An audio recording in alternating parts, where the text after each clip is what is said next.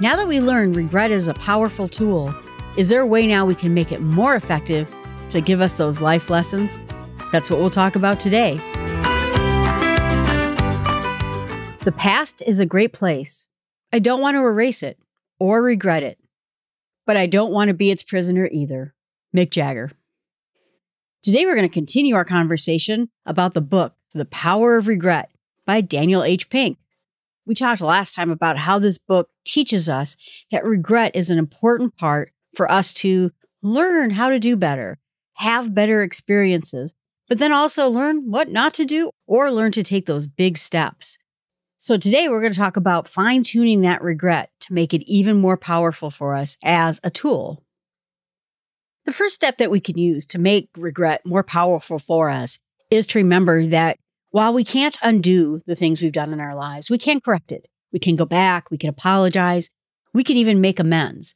We can help the people that if we harm someone, get on with whatever it is we did to them if we harmed ourselves, then we can also try to change those decisions so that we move on from it, we do better, we correct whatever harm we did to ourselves.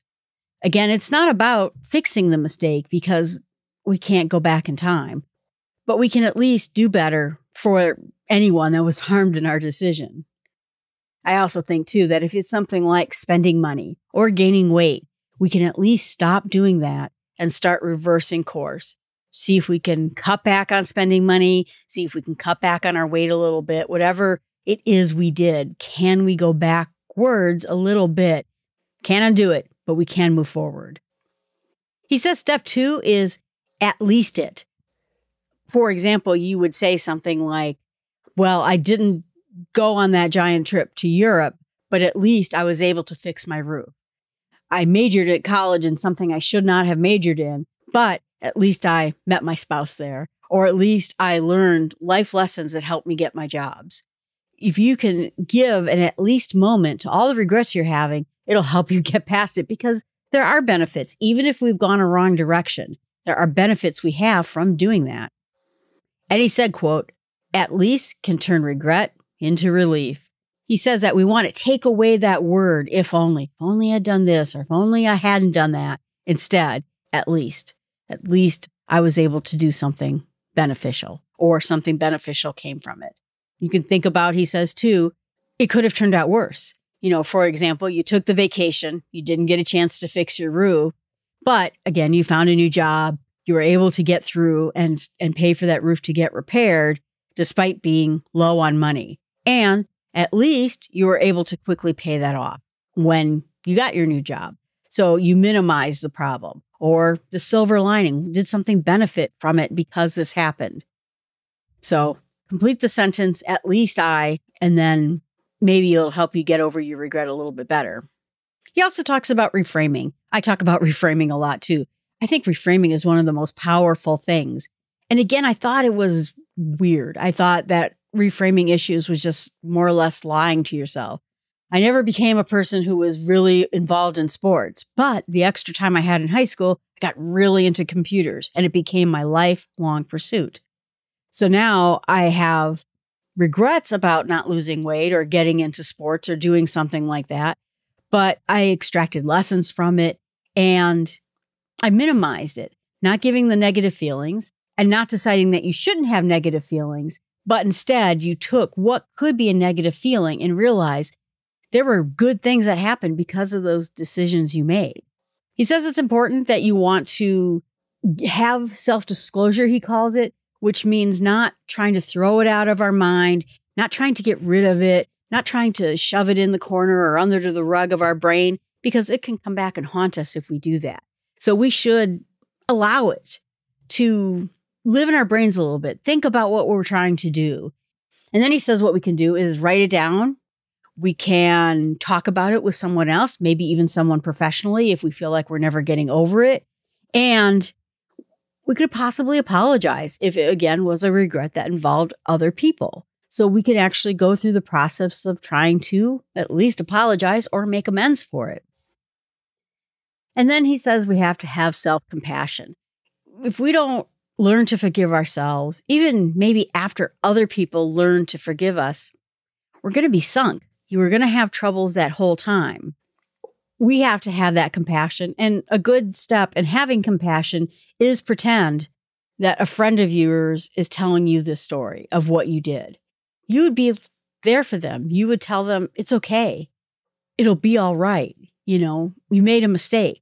Can you tell that to yourself and have the same kind of compassion for yourself that you would have for other people if they told you that issue? He gives a step then that is called self distancing, which he says is analyze and strategize. So when you have something that happened to you, can you look at it almost like a third person, almost like you were watching it on TV or again, a friend was telling you about it. And if you can give yourself a little distance from what it is that happened, not be so raw about it, not beat yourself up about it, but kind of look at it more analytically, more so that you can just see what happened, what went wrong. And he gives the example of Julius Caesar, who had regrets when it came to the Gallic Wars. And what he would do is he would sort of distance himself by it by saying, well, Caesar did this, even though he was Caesar. But making it in third person maybe helped him analyze it a little bit better instead of, well, I did this and I screwed up. People don't like that. But if I say, well, Jill went down the wrong path, she spent the money, she went to Europe, and now she has a roof she can't afford.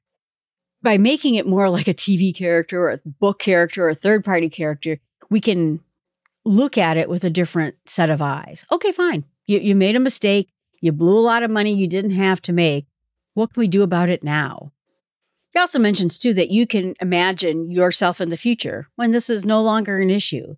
Do you think that when you made a mistake, when you're in your 50s or in your 60s, you're going to look back at this event and call it earth shattering, like maybe you feel right now? Or are you going to look at it and go, that was a silly move I made, but you know what? In the end, I had some fun. I got over it and I figured out another way. You can see that the future you solved the problem, doesn't care about it, and got over it. He says that self distancing can help us within a matter of seconds. We start to feel better about the situation and we get better perspective about it. So, again, we can analyze it, see what went right, what went wrong. Should I have done it? Or, boy, that was kind of a stupid mistake. And then give yourself strategies. The next time this happens, I'm not going to do that. I kind of tend to be a nice person and I get overrun by vendors quite often. They say they're going to do something, they don't do something. And I'm like, hey, wouldn't it be nice if you did that thing you told me you were going to do? And th- then they don't. I tend to believe that if I was a nastier person, if I was a yeller, if I was threatening lawsuits, I'd probably get better attention at it. So then can I take those regrets of not being more forceful so that I can come up with decisions of how I can do better in the future? I've come up with some strategies. Some of them are kind of funny by basically making alternatives to helping me solve that problem a pain in the butt. Someone wasn't helping me on something. They owed me quite a bit of money.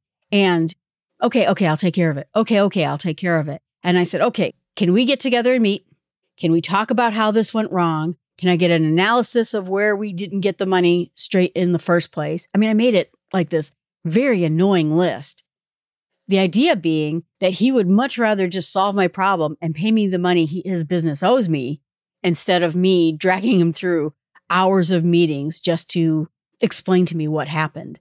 So now my strategy of annoying someone in the nicest way possible got me what I was looking for. At least I hope so.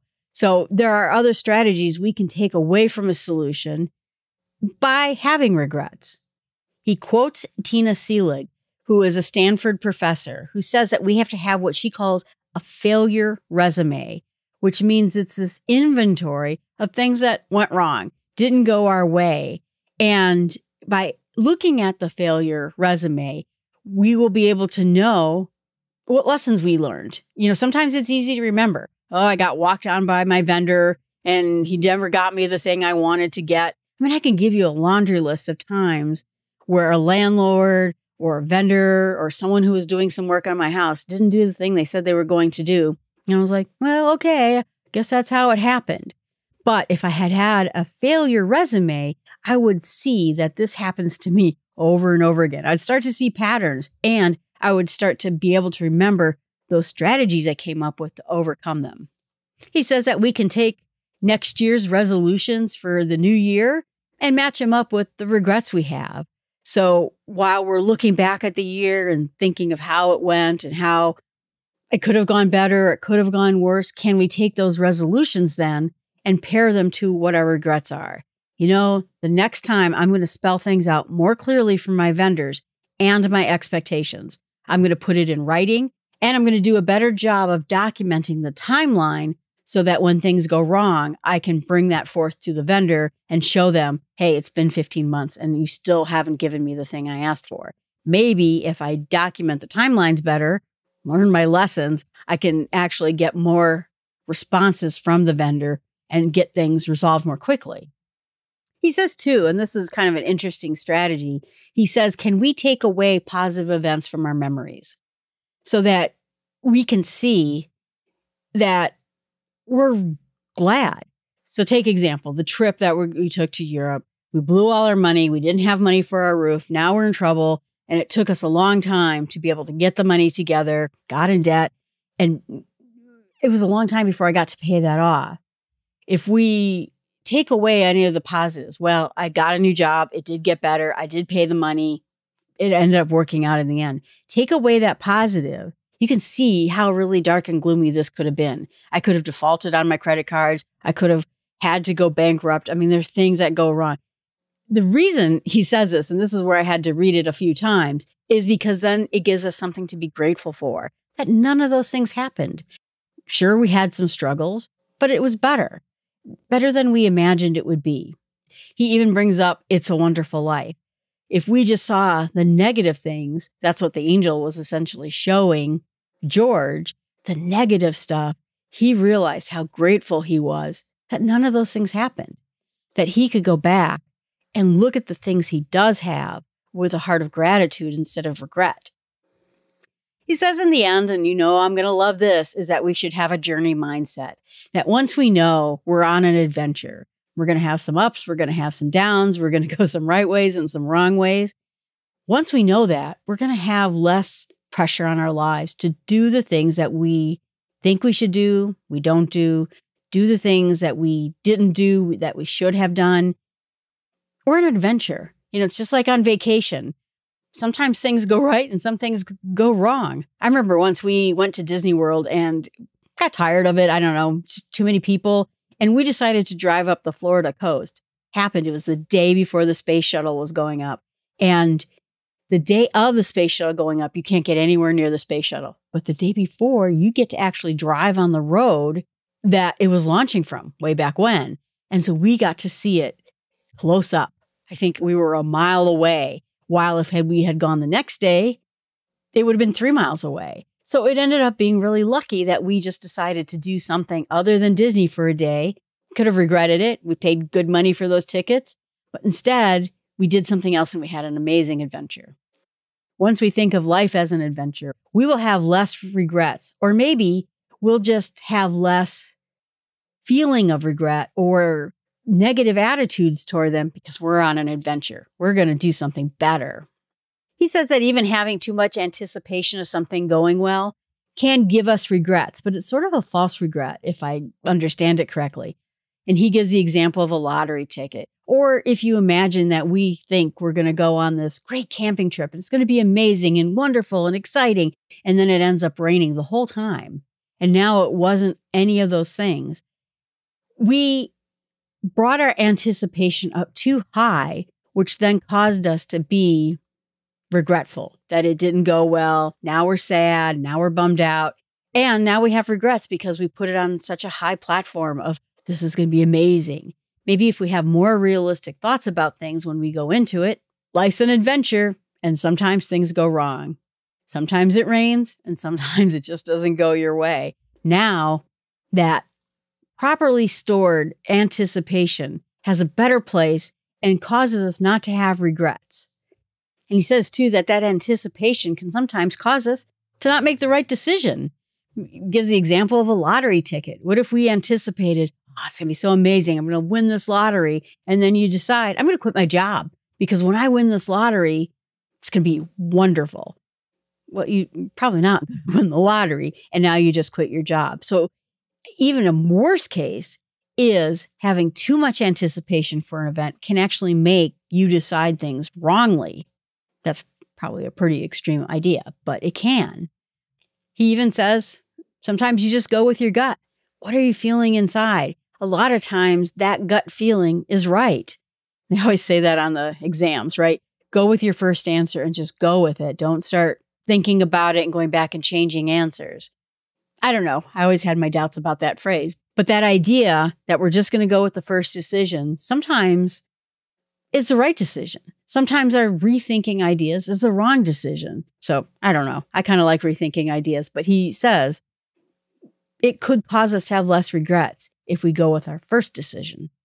And then he has something that he calls the regret optimization framework. That's where we can anticipate some of our regrets. Well, I'm going to go camping, but just keep in mind it could rain and it may be not as cool. So, what if I had a contingency plan in case it did rain? Or what if we have better anticipation of what's going to happen? So then we're not so sad when it does happen. We have more realistic viewpoints.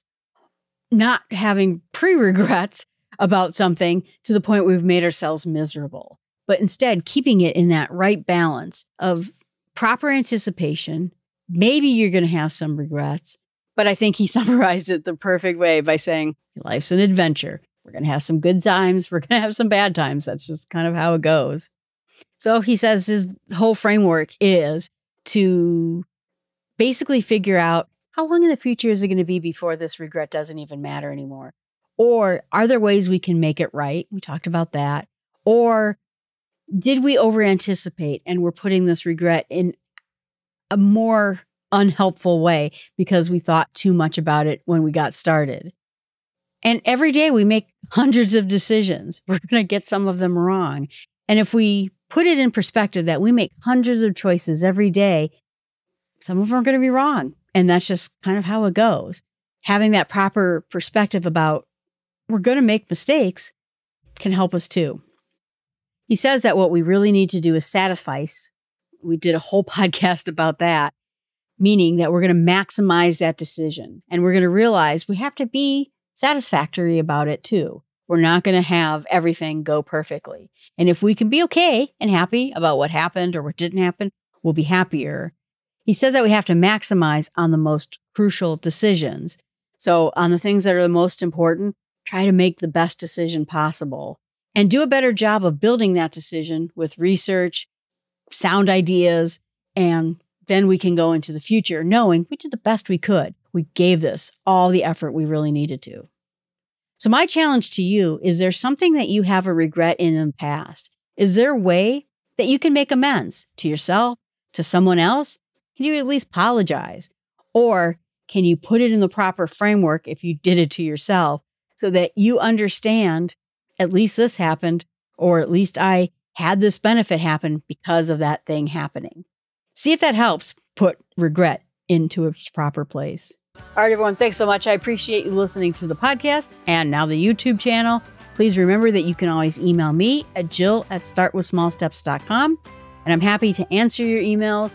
If you have a problem and you're stuck in life, happy to do a book that would address those problems. And remember, our way through the world by maximizing the lessons we've learned starts with small steps.